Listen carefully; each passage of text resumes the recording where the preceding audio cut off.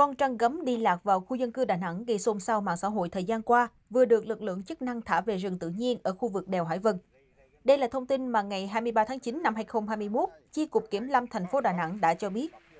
Theo ông Trần Viết Phương, Phó Giám đốc Sở Nông nghiệp Phát triển Nông thôn, kiêm Chi cục trưởng Chi cục Kiểm lâm thành phố Đà Nẵng, khi nhận được thông tin về việc xuất hiện con trăn gấm ở đường Đặng Huy Tá, phường Hòa Minh, quận Liên Chiểu, thành phố Đà Nẵng, ông đã cho xác minh.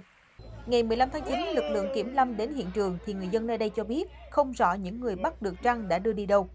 Đến ngày 18 tháng 9, hạt kiểm lâm quận Liên Chiểu nhận tin báo từ ông Hồ Tấn Nghĩa ở đường Mẹ Suốt, tổ 40, phường Hòa Khánh Nam, quận Liên Chiểu về việc con trăng này đang ở nhà ông, nhờ lực lượng đến tiếp nhận. Lực lượng kiểm lâm đến kiểm tra và xác nhận đây là con trăng gấm nặng 17 kg,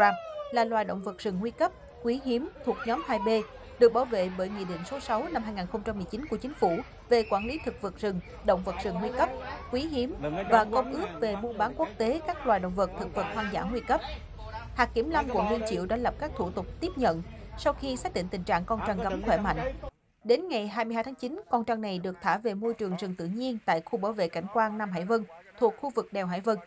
Theo ông Trần Viết Phương, nguyên nhân xuất hiện trăng gấm thuộc loại lớn trong khu dân cư có khả năng là do con trăng này trôi theo dòng nước lụt sau đợt mưa lớn do ảnh hưởng bão số 5 vừa qua, từ thượng nguồn kênh Daco lạc vào khu dân cư.